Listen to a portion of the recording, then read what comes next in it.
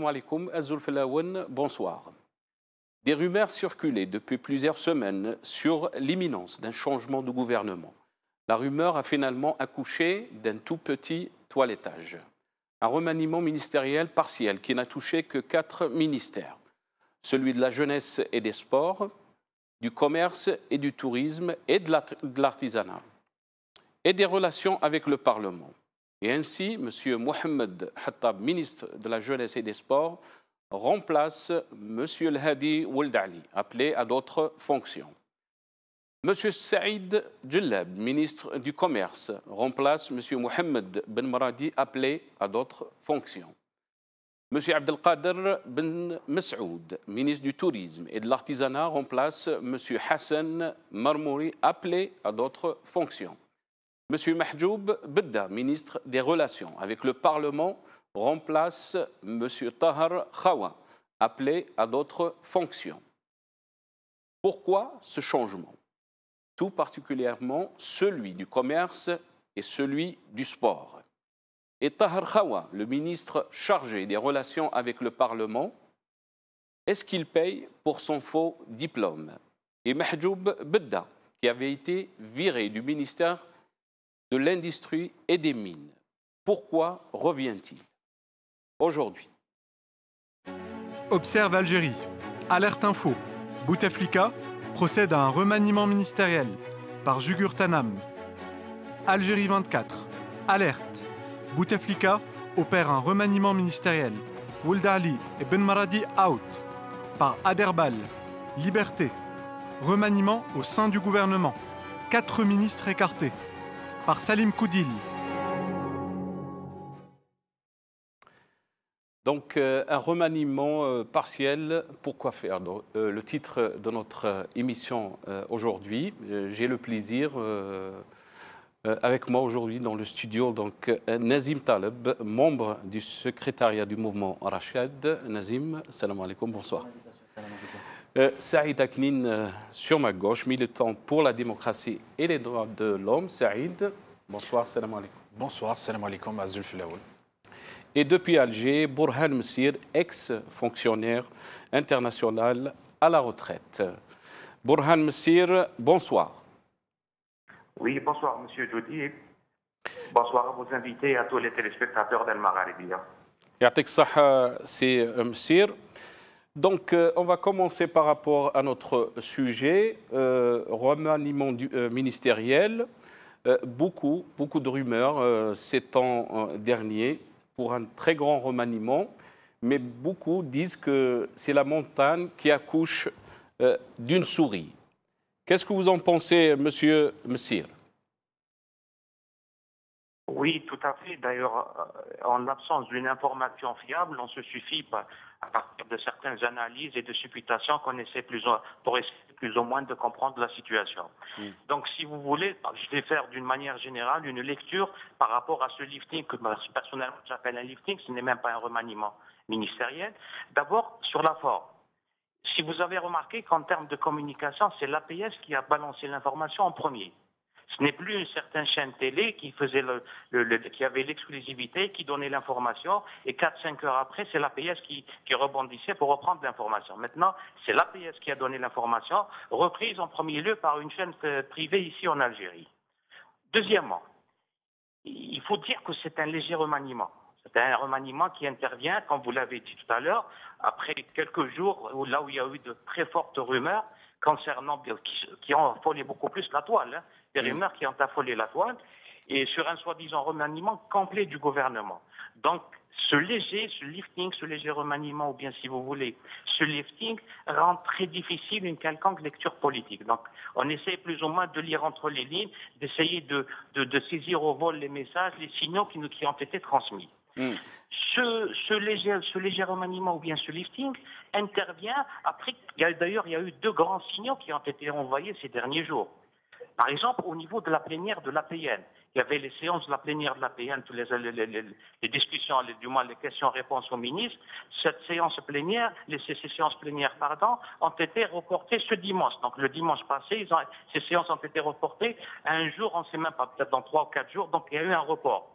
Deuxième, deuxième signal qui a été transmis, il y avait la réunion que devait tenir Mme Benrabrit avec l'intersyndicale de l'éducation, qui devait avoir lieu le 3 avril, mais qui a été reportée au 5, donc à demain. Donc c'est dire que ce remaniement de départ, on sentait qu'il y avait un grand remaniement, et puis au fur et à mesure, il y a eu des noms qui ont été épluchés, donc on a plus ou moins essayé de laisser de côté certaines, certains noms. Hmm. Euh, euh, donc vous constatez que dans ce petit remaniement, le Premier ministre, comme vous l'avez dit, a été épargné. Ah, Les grands ministères n'ont pas été touchés. Tout semble, d'ailleurs, tout, tout, tout, tout, semble, en fait, tout, tout porte, tout porte, tout semble, semble dire que ces gros ministères, ces ministères importants, ne seront pas touchés d'ici 2019. Donc, très, très bien, très bien, monsieur, monsieur. alors, des ministres qui vont rester à leur place. Hmm. Monsieur qu'est-ce que vous pensez Est-ce que vous pensez que Bouteflika et ses conseillers euh, opèrent une manœuvre pour perpétuer le statu quo en offrant euh, à l'opinion publique une illusion de changement? Ça, c'est un des messages, absolument. Hmm. L'idéal aurait été que Ben Rabrit parte, que Hezbollahi parte, que Zemali parte. C'est-à-dire ce sont des ministres dont les départements sont actuellement touchés par des problèmes. Il y a des problèmes, il y a des, revendications socio-professionnelles au sein de, ces départements. Le message, vous venez de, le dire, le vrai message, c'est-à-dire que moi, j'opère avec toute la latitude, avec tout, tout mon temps, je n'opère pas sous la pression. C'est apparemment le message. Mais selon certaines indiscrétions, d'autres remaniements du mode, d'autres liftings auront, lieu dans les prochains jours. Hmm. C'est ce que vous en pensez. Pardon? C'est ce que vous pensez. Vous pensez qu'il y aura d'autres remaniements? C'est-à-dire, vous l'avez bien dit, il y, a, des ministères, c'est-à-dire vous avez changé pour dire j'ai changé, mais finalement il n'y a rien à changer. Et les ministères, les départements qui étaient touchés, qui sont actuellement par des mouvements sociaux, n'ont pas été concernés par ce remaniement. Ça veut dire que je n'opère pas maintenant, je vais laisser voir les choses et après je dire voilà, je vais, je vais changer telle ou telle personne parce que j'ai décidé de changer telle ou telle personne et ce n'est pas la situation socio-professionnelle ou bien sociale du pays qui me l'a imposé. Très bien. Restez avec nous, euh, Borhan Messir. Euh, Nazim, je reviens à vous. Euh, donc, euh, quelle est votre lecture par rapport à ce petit remaniement, ce, lifting, si on peut dire? Bon, il faut, il faut quand même signaler quelque chose de très important en Algérie, c'est que sous l'ère du président Bouteflika, il y a eu à peu près 700 ministres en fait, c'est la valse des ministres depuis que l'arrivée de Bouteflika au pouvoir. Est-ce que ça a changé quelque chose au quotidien de l'Algérien? Je ne le crois pas. Euh, les choses sont de plus en plus difficiles. Le, niveau de vie euh, se détériore pour la plupart des Algériens. Euh, donc il n'y a rien qui fonctionne. Donc je ne crois pas que changer quatre ministres, donc là on parle d'un petit toilettage, puisque c'est quatre ministres, dont un qui est responsable des relations avec le Parlement, qui va changer quoi que ce soit au quotidien de l'Algérien. Donc, moi, pour moi, ma lecture, en tout cas, c'est il y, a, euh, il y a déjà une certaine contradiction. Parce que vous avez, par exemple, euh, Saïd Jelleb, qui était ancien ministre, euh, ancien directeur du commerce extérieur, mhm. qui était plus ou moins favorable aux constructeurs bon, pour les usines d'assemblage automobile. Mhm. Euh, aujourd'hui, on réalise très bien que ce n'est pas des usines d'assemblage, mais plutôt pour gonfler des pneus. Toute la polémique qu'on a, voilà, vu ces derniers temps. À l'époque, en 2016, ils avaient, ils avaient fait le cahier des charges et ils, mhm. avaient, ils allaient donner à 40 opérateurs. Alors là, on se retrouve avec 8 opérateurs euh, ou 10, 5 dans l'automobile pour particulier, 5 pour le, tout ce qui est euh, automobile, tout ce qui est utilitaire. Et la contradiction, c'est euh, Mahjoub Beda qui était plutôt euh, euh, défavorable à, la façon dont le, cahier des charges, puisque à l'époque, on se souvient qu'il avait refusé même de l'inauguration de, l'usine euh, Sovac Volkswagen. Donc là, déjà, il y a une contradiction. On ne voit pas très, très bien l'orientation.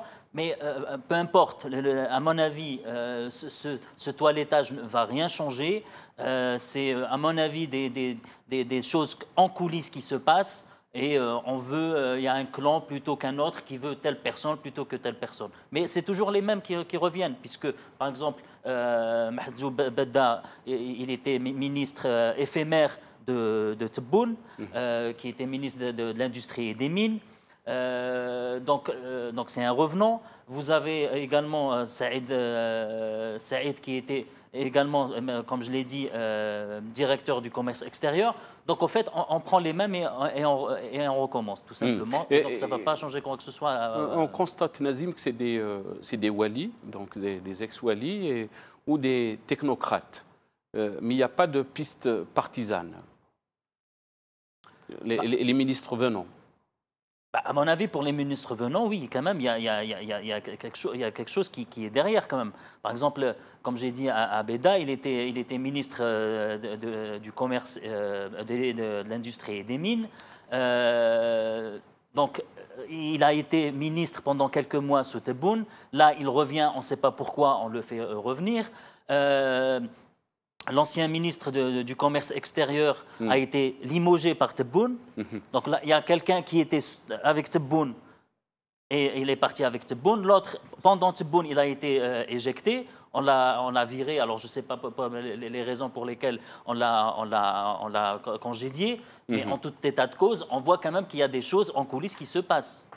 Très Donc, bien. c'est quand même, euh, il y a quand même des choses partisanes dans ces, des- dans ces, euh, dans ces prises de décision. Dans ces no- euh, nominations, vous voulez À dire. mon avis, oui. Très bien. Euh, Saïd Aknin, euh, bonsoir Saïd. Euh, Saïd, il y avait beaucoup de pression ces dernières semaines, des rumeurs qui demandaient peut-être la tête de, de Yahya. Euh, mais on voit que Yahya a été maintenu. Pour vous, pourquoi? Pour quelle raison? Bonsoir Nassa, bonsoir aux honorables invités. Ça me fait plaisir d'être avec Nazim, mon ami, sur le plateau pour débattre d'un certain nombre de sujets. Bonsoir euh, aux téléspectateurs. Vous savez, euh, Nassar, il y a des éléments de langage trompeurs. Pour ma part et pour la part de la quasi-majorité des Algériens, il faut, pas parler, il faut appeler les choses par leur nom. Parler aujourd'hui de remaniement, c'est accepter l'une des premières formes de corruption qui est la corruption par le langage. Un remaniement suppose qu'on soit dans, une, dans un pays qui fonctionne normalement. Il se passe aussi dans un gouvernement légitime qui gouverne réellement le pays au sein d'un système légitime. C'est-à-dire au sein d'un système où les institutions élues légitimement constituent le centre des prises de décision et de la construction de la décision politique.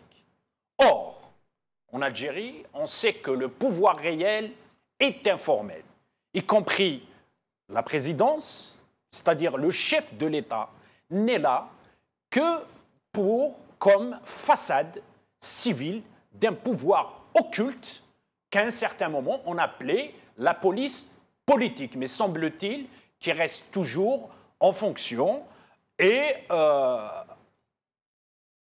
c'est lui qui gère et qui anime surtout, non pas la décision politique, c'est-à-dire les centres informels.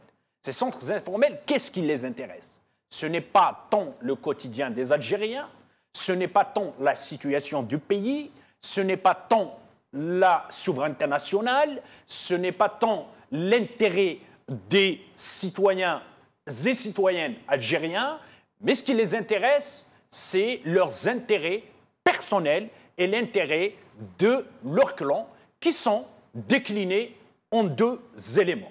Le premier élément, c'est la redistribution de la rente dans les cercles informels. Le deuxième élément, c'est les centres de décision. Aujourd'hui, on est dans une situation d'impasse généralisée. Cette impasse crée une certaine forme de panique. Pourquoi? Parce que c'est normal. euh, L'image métaphorique qu'on peut utiliser dans cette situation, à force de pomper un ballon, il finit par exploser. Et par conséquent, ce peuple, euh, à force de subir la hogra, les injustices, l'exclusion, à force euh, de subir une misère, alors que le pays il est riche, à force de subir euh, euh, l'exclusion, alors qu'aujourd'hui euh, sont rares les pays qui continuent à, fonctionner dans une euh, forme de dictature sous-développée, arriérée, clanique, oligarchique. Aujourd'hui, ce peuple euh, euh, euh, qui a subi tout ça finira un jour par se libérer. Son silence aujourd'hui, et parfois euh, que certains condamnent, que moi j'essaye de comprendre, est une forme euh, de résistance. Face à cette situation, à la grogne des, des enseignants récemment, au mouvement des médecins résidents, auxquels je rends hommage, à tous ceux qui luttent, parce qu'il n'est pas évident, il n'est pas facile de lutter dans un système opaque, dans un système oppresseur, dans un système qui fait du bâton et de la carotte les deux éléments de gestion sociale. Il est vrai que euh, dans ce système, le régime n'a pas la culture de résultat. Sinon, dans des pays qui se respectent, on nomme ou on, euh, remanie quand euh, il y a une différence d'approche. Il y a un arbitrage un arbitrage et que euh, un ministre est un jusqu'au boutiste et qui n'arrive pas à mettre de l'eau dans son moulin et que l'arbitrage voudrait que euh, effectivement pour une autre approche, une autre idéologie et un mhm. autre système de gestion du pays ou sinon des résultats non probants dans un secteur ou sinon un conflit social larvé auquel on ne peut pas apporter une solution réelle et, euh, et pacifique comme le cas actuellement au ministère de la Santé, comme le cas actuellement au ministère de l'Éducation. Quant à ce maintien, c'est-à-dire j'explique pourquoi ce maintien. Ce maintien, il y a deux hypothèses, il n'y a pas dix. La première hypothèse, c'est que le chef du gouvernement aujourd'hui est hyper puissant, c'est-à-dire ce DRS Boys est hyper puissant, par conséquence, le DRS continue toujours à opérer, c'est lui qui décide dans le pays. Le deuxième élément, c'est parce qu'il est tellement dangereux qu'on veut le marquer de près, parce que et il y a certains qui développent une troisième hypothèse, auquel je n'y crois pas trop, c'est que c'est la candidature de secours. Si demain on n'arrive pas à avoir un consensus clanique autour du successeur à l'actuel chef de l'État, on se repatrie sur euh, euh, l'actuel euh, indu chef du gouvernement. Très bien. Burhan Messir, je vais revenir à vous. Burhan Messir, on a vu ces derniers temps donc, les problèmes qui ne cessent de s'accumuler. on a vu le secteur de la santé, de l'éducation, les mouvements sociaux qui, qui s'accentuent pourquoi Bouteflika euh, n'a pas, choisi le, changement euh, radical? J'ai essayé de répondre tout à l'heure à cette question en disant que Bouteflika a une politique, il n'agit jamais sous la pression. C'est-à-dire là, il est en train de s'accorder du temps. Il s'est attaqué à certains ministères là. Les quatre ministères, ça, si vous voulez, on va voir les raisons pourquoi tel ministre a été enlevé et tel ministre a été enlevé. Mm. Mais pour l'essentiel de votre question, il va agir. C'est clair qu'il y a des messages qui ont été transmis. Écoutez, quand vous lisez le communiqué laconique de la sont ces messages, monsieur, les ministres euh, ont été. C'est Burhan. Quels sont ces, ces messages? Quels sont ces messages? Pardon? Les, messages, vous dites qu'il y avait des messages Le premier message, c'est que vous avez le, communiqué laconique de l'APS qui vous dit que tous les ministres démis ont été appelés à d'autres fonctions. Hmm. Deuxième message, et là c'est devenu une tradition, on rappelle à chaque fois des ministres écartés. Donc il faut comprendre que la porte est toujours ouverte. On va toucher d'autres ministres, on va toucher d'autres ministres. On va appeler peut-être Cheikh Ibrahim, on va appeler peut-être Tebboune. Donc tout est possible. Ces gens-là, ils sont dans les starting box, comme on dit. Donc le message qui a été transmis, c'est qu'il y a une ouverture, il y a trois ministères, il y a trois départements essentiellement qui sont très touchés par les mouvements sociaux et qui peuvent faire tâche d'huile à l'avenir. Maintenant, si on essaie de voir, j'ai comme si un petit retour d'écoute, donc j'essaie de, parler directement sans m'écouter. Hein. Très, nous, on vous entend très très bien, monsieur. monsieur. Très bien. Hmm. Donc j'essaie, personnellement, j'ai essayé de comprendre le pourquoi de ce mouvement. Premièrement, prenez par exemple le ministre du tourisme c'est un ministre, ou du moins c'est un département qui est vraiment absent de la scène politique.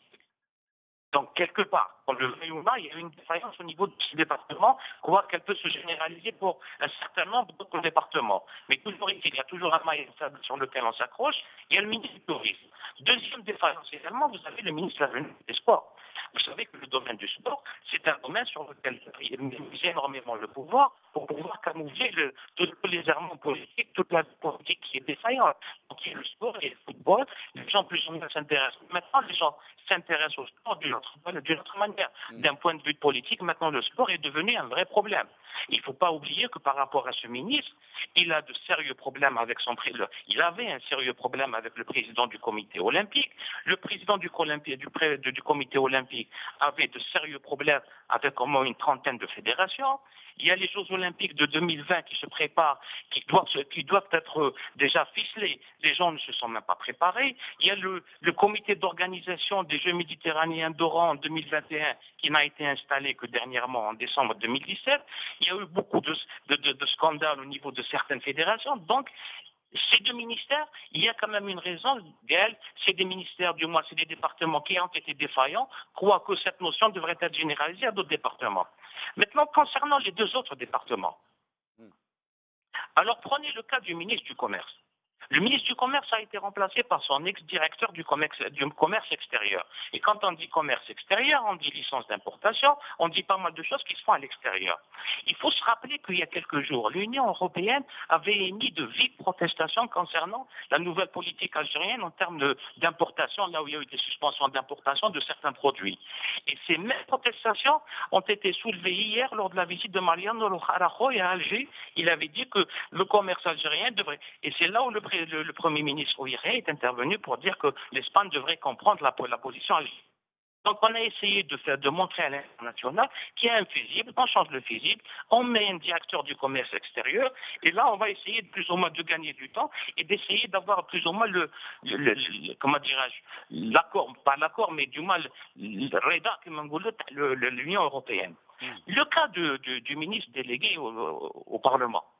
Alors, le pardon, ministre chargé des relations avec le Parlement. Il ne faut, il faut pas oublier que Khawa a eu de sérieux problèmes. La justice l'a démis de son diplôme. Deuxième chose, il a eu dernièrement une altercation assez sévère au niveau d'un salon VIP de l'APN. Donc vous voyez, il y, a des, il y, a des, conséquences par rapport à un comportement. Il a eu une altercation avec, avec le, le, député de Annaba, Kleba. Donc vous voyez, il y a deux ministères qui ont été, qui ont, deux ministres qui ont été démis entre guillemets pour incompétence, deux autres ministres par rapport à des situations dans l'international et une situation de discipline, si vous permettez.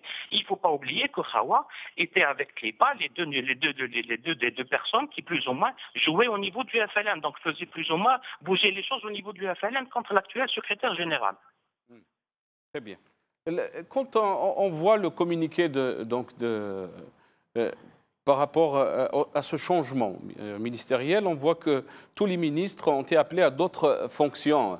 Euh, si Burhan, euh, monsieur, ça veut dire quoi? On a su qu'on on parle maintenant de Ali Ali, qui était ministre du sport. on l'a vu qu'il a joué toujours dans le passé, une fonction surtout par rapport à la campagne électorale.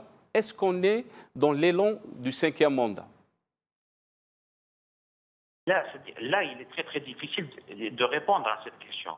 Hmm. À plein d'autres fonctions, ça peut supposer cette hypothèse, mais on est en train de parler de la, la prochaine installation du Haut Comité de la jeunesse. Il y a le Haut Commissariat ou le Haut Comité, je ne me rappelle pas exactement du nom. On est en train d'avancer carrément son nom à la tête de ce Haut Comité. Mais le fait de dire qu'ils ont été appelés à d'autres fonctions, ça vous dit que quelque la porte est encore ouverte, il y aura d'autres changements, il y aura d'autres mouvements dans les prochains jours, ou bien dans les prochaines semaines. Très bien, restez avec nous, euh. Euh, euh, Nazim, donc ça, veut dire quoi en termes de, communication appelé à d'autres fonctions? Donc tous ces ministres sont appelés à d'autres fonctions. on ne sait pas, on sait pas encore quelles sont ces fonctions. À mon avis, il ne faut pas leur accorder plus d'importance qu'il y en a. C'est une formulation tout à fait protocolaire pour dire que voilà, le ministre, on l'utilise un peu partout dans tous les pays. Hein. Ce n'est pas un cas particulier à l'Algérie, le, fait de dire qu'il il sera appelé à d'autres fonctions. Il ne faut pas oublier qu'ils sont fonctionnaires. Donc forcément, quand un fonctionnaire, euh, je dirais, n'est plus ministre, bah forcément, il, il redevient il a toujours le titre de fonctionnaire, donc on va le placer euh, quelque part dans des, ministères ou dans des directions centrales, etc. Donc, à mon avis, il ne faut pas donner plus d'importance à cette formulation qui est purement protocolaire que, euh, qu'autre chose. Mhm. Est-ce que vous pensez qu'il euh, y a l'atout de, des présidentielles de 2019 qui s'approchent et, peut-être tous ces changements qu'on est en train de voir sont par rapport euh, donc, à cette élection bah, moi, moi, personnellement, c'est un, un, un, sentiment personnel. Je ne crois pas que ce, changement-là mhm. répond à une nécessité de préparer les élections de 2019. Moi, pour moi, ce, ce, toilettage, encore une fois, parce que c'est quatre ministres qui ne sont pas... Euh, bon, peut-être mis, mis, à part le ministre du Commerce, les autres, ils sont dans un pays, je dirais, normalement constitué, ministre de la Jeunesse et des Sports, dans une population qui fait 75% de, jeunes, il aurait été important. Mais quand on voit le budget de fonctionnement du ministre de la Jeunesse en Algérie, qui représente à peu près 50 millions de dollars, euh, comparé à, à, 10 milliards ou 11 milliards pour l'armement ou pour l'armée, vous avez quand même une idée de l'importance que l'État donne à la jeunesse en Algérie. Donc euh, je ne crois pas que ça va changer non plus euh, quoi que ce soit. À mon avis, c'est juste, euh, juste encore une fois pour redire un petit peu ce que je disais, c'est tout simplement des clans derrière. Par exemple, Beda, c'est comme il a toujours été depuis son jeune âge au, sein du FLN. Là, peut-être qu'il voulait mettre un des leurs au, niveau des relations avec le Parlement. Et effectivement, par rapport à ce qu'il disait euh, Monsieur Mser, c'est par rapport aussi à ce que l'ancien avait des problèmes de, diplôme, puisqu'il n'avait pas de diplôme. Mais bon, encore une fois, euh, c'est pas en Algérie, c'est pas parce que vous avez un faux diplôme en Algérie que euh, vous allez être mis au pilori. Bien au contraire, on a des ministres qui sont impliqués dans des, corruptions avec des millions de dollars. Ça ne les a pas empêchés de, quand, on déroule le tapis rouge et qu'ils soient accueillis de nouveau en Algérie à l'image de Sheikh Ibrahim maintenant.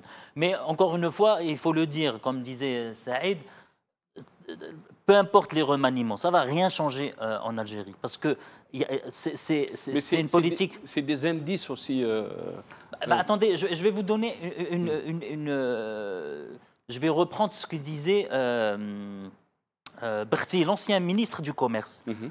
Il a dit Je me suis rendu compte, c'est lui qui le dit, hein, il est mort, bah, il, était, il est malade, il est, il est mort, il a dit Je me suis rendu compte que je ne peux même pas appliquer les lois à une simple pizzeria en Algérie. C'est vous dire que la, décision politique, ce n'est pas les ministres.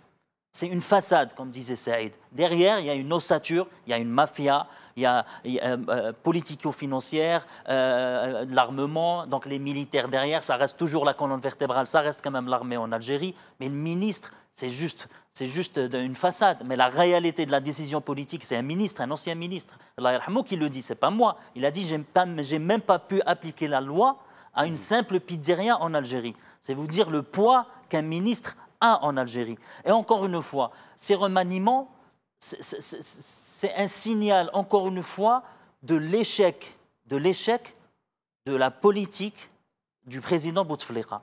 Parce que en, espace de quelques années, quelques, euh, allez, Tebboune, c'était une politique conservatrice. Là, on repart sur Yahya, c'est une politique libérale. Et là, on revient sur une politique euh, conservatrice par rapport à la limitation des importations. Il n'y a pas de vision politique.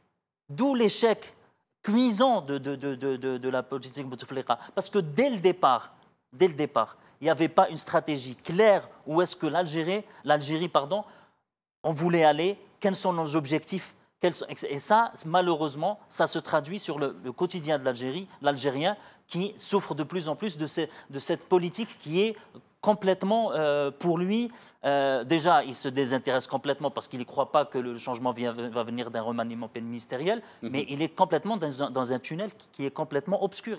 on ne sait pas où est-ce qu'on va. Très bien. Euh, Saïd, est-ce que ce, donc ce changement ministériel, ce mini-changement, est-ce que c'est une façade, comme il le dit euh, Nazim, c'est une façade euh, d'une lutte clanique en Algérie Moi, comme je l'ai dit au début de l'émission, je m'extrais de deux mensonges parce que je ne suis pas l'instrument de vulgarisation du mensonge d'État, c'est-à-dire du mensonge du régime. Le premier, c'est par rapport au langage c'est un arrangement effectivement clanique. en perspective des élections présidentielles. Le deuxième mensonge, c'est celui le chef de l'État a nommé ou a remanié. Je ne m'inscris pas dans ce mensonge parce que le chef de l'État est incapable de nommer, est incapable de parler, est incapable de, de, de, de, se prendre en charge. Il est malade, il est pris en otage et par conséquent, ces deux mensonges ne sont pas inscrits dans mon registre de l'éthique. Là, effectivement, comme le disaient M. Msir et Nazim, c'est clair. Il n'y a pas. Ceux qui euh, ont pris en otage les institutions en Algérie ne pensent pas au peuple, ne pensent pas aux intérêts du peuple. Ils pensent qu'à eux-mêmes. Maintenant, effectivement, dans le communiqué, on utilise une formule protocolaire que le génie populaire, je viens de lire sur les réseaux sociaux, a, traduit autrement. Envoyer euh, une mission chasse une autre, envoyer euh, aux nouvelles missions, c'est-à-dire ceux qui euh, ne sont plus dans les escarcelles du pouvoir, sachant que pour pouvoir être ministre dans un système opaque, dans un régime dictatorial, il y a des critères d'entrée. Deux critères attirent mon attention. D'abord, la soumission. La deuxième des choses, la loyauté. La loyauté vis-à-vis de qui? Vis-à-vis des centres réels de prise de décision, c'est-à-dire c'est les centres informels. La deuxième, la soumission à quoi? C'est la soumission à tout ce qui se fait, sinon lequel d'eux aura le courage aujourd'hui de dire au peuple algérien qu'effectivement, le chef de l'État nous a jamais parlé en Conseil de ministres, nous a jamais rien dit en Conseil de ministres. Mais non, effectivement, il y a des messages sous-jacents à l'intérieur du régime, disant qu'il y a euh, la porte est toujours ouverte, vous si vous partez, vous revenez, mais quand quelqu'un part, il ne part pas, on lui donne une mission. C'est le critère d'entrée. S'ils n'acceptent pas d'avoir des missions, et comme il y a les élections présidentielles 2019 qui s'approchent, tous ceux qui peuvent jouer un rôle, que ce soit en matière de stratégie, que ce soit en communication, que ce soit en poker monteur, que ce soit en, mobilisation, ils vont l'utiliser. Certains de ceux qu'on voit aujourd'hui dans le gouvernement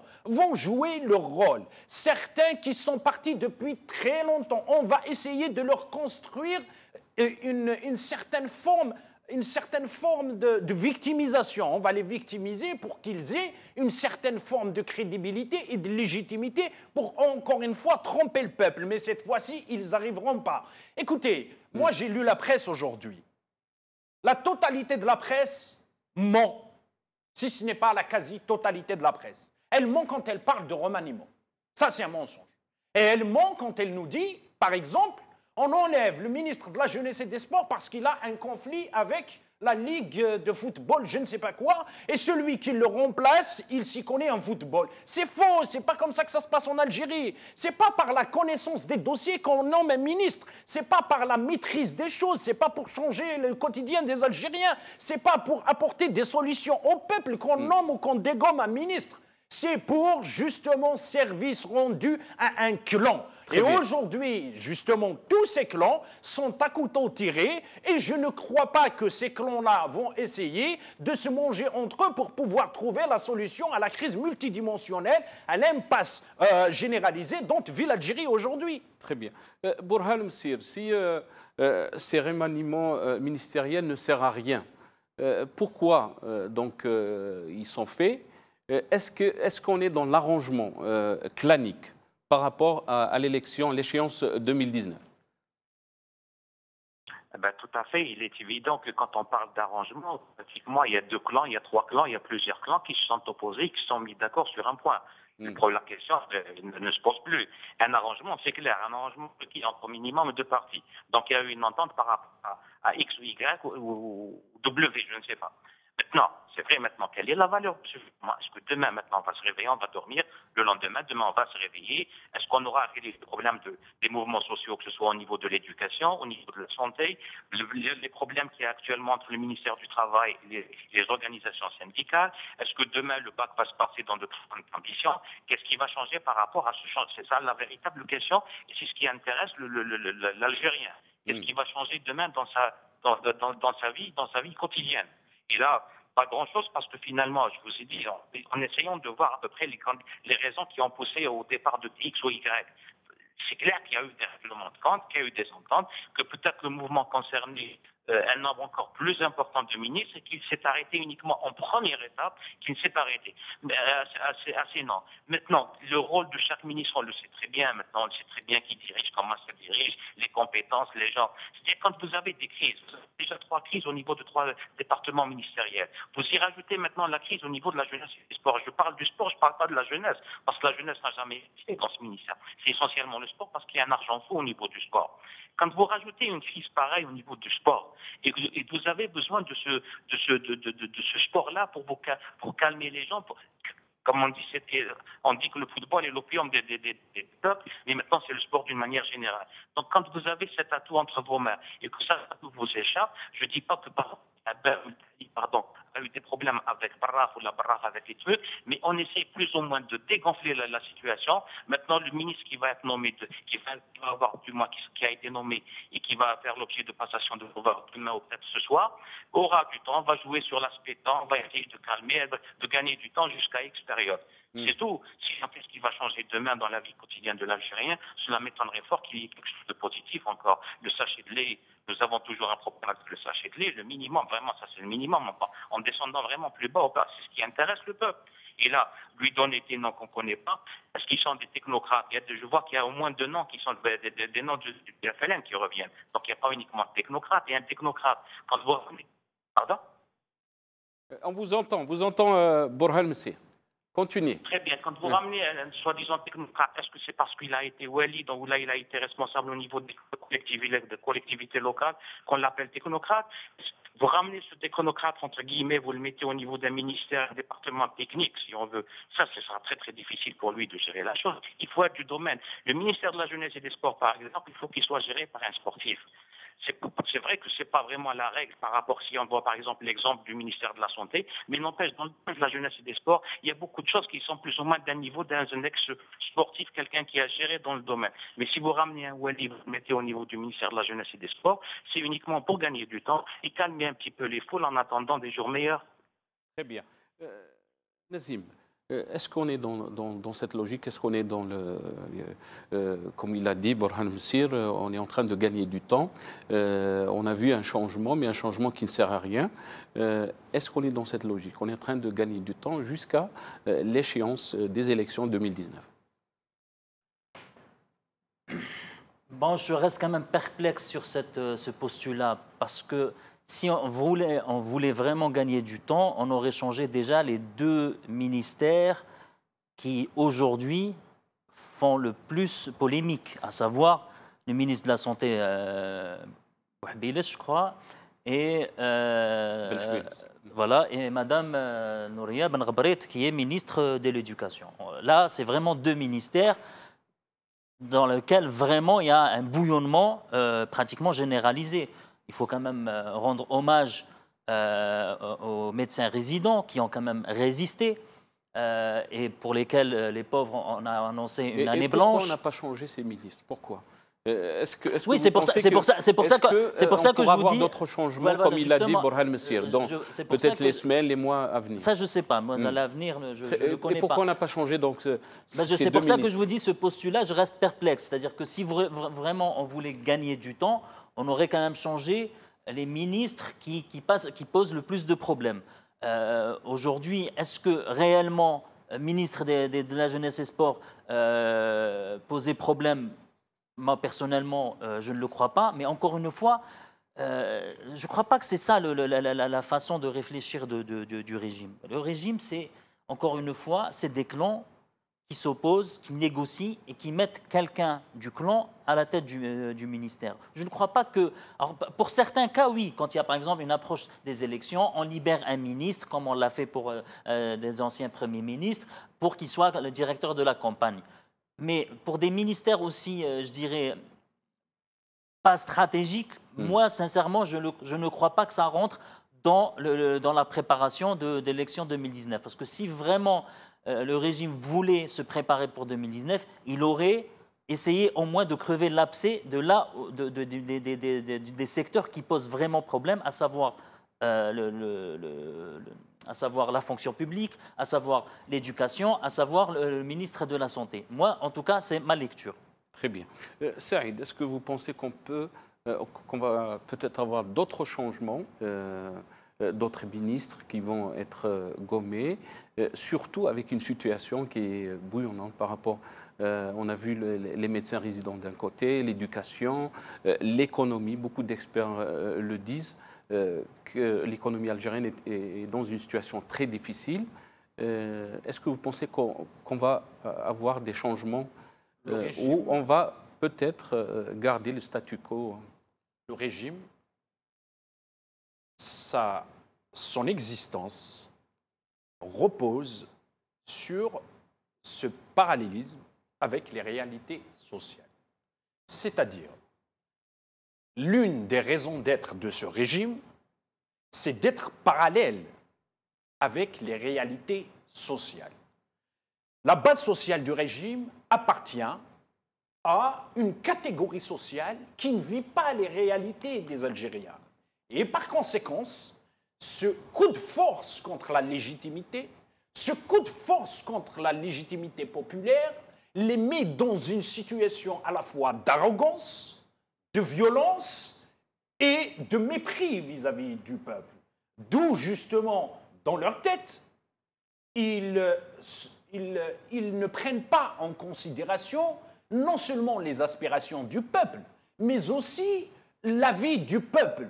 N'oublions pas que c'est des régimes illégitimes.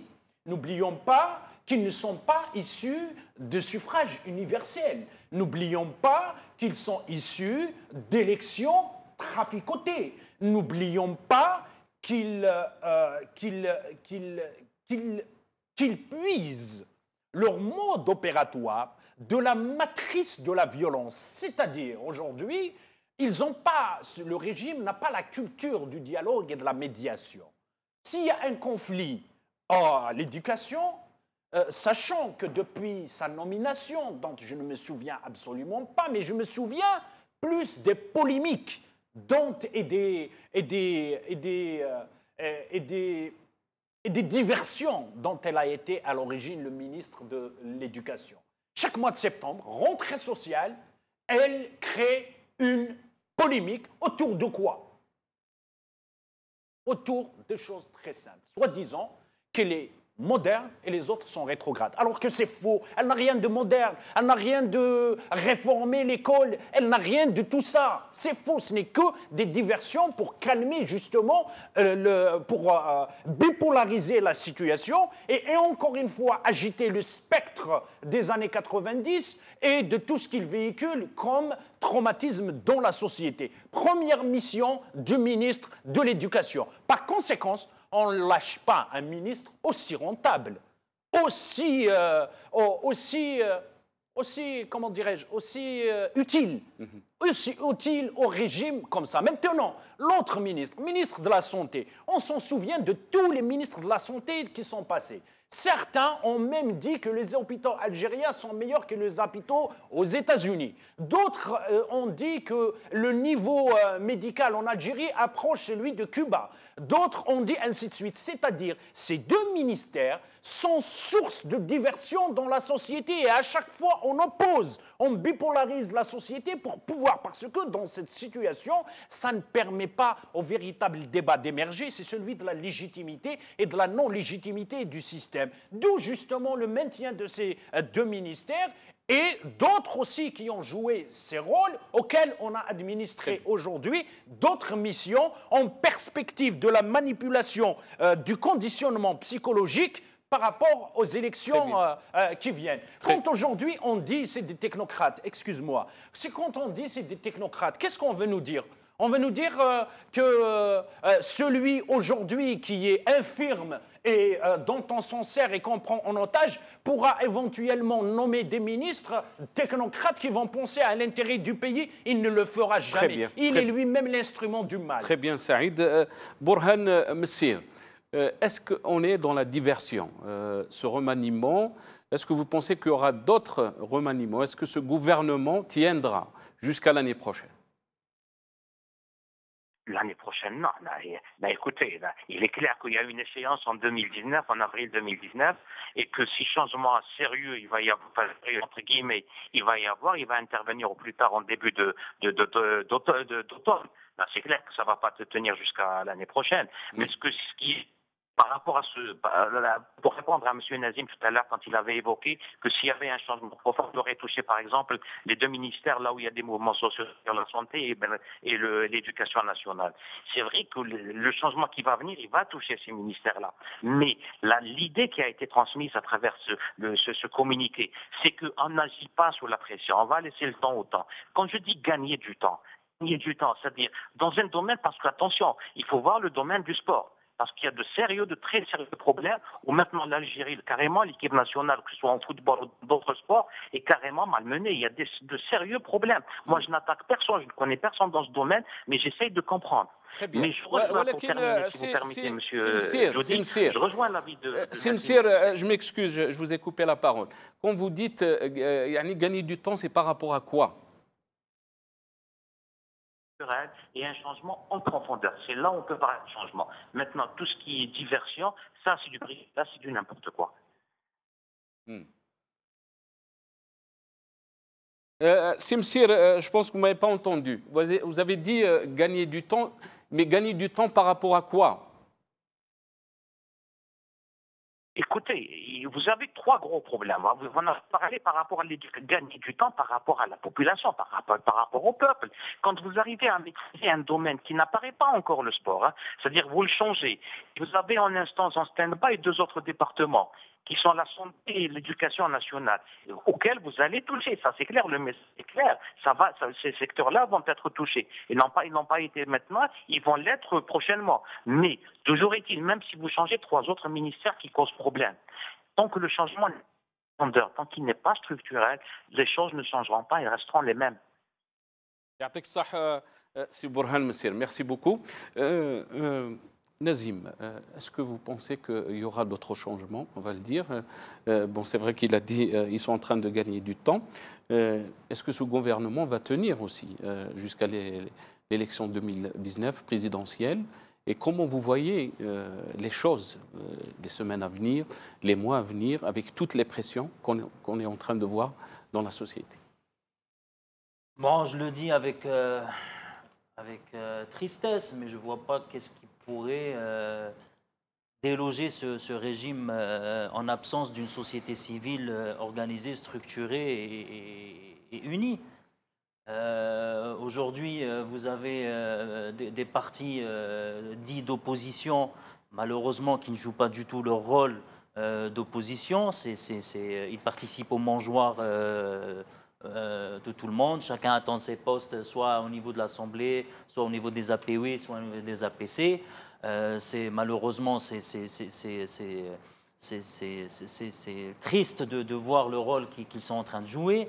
Euh, vous avez une société civile aujourd'hui qui, où, on va dire, il y a effectivement des revendications sociales, mais ça reste quand même très, euh, très localisé et qui, ne, bénéficie pas d'un soutien aussi bien des autres syndicats que ce soutien populaire.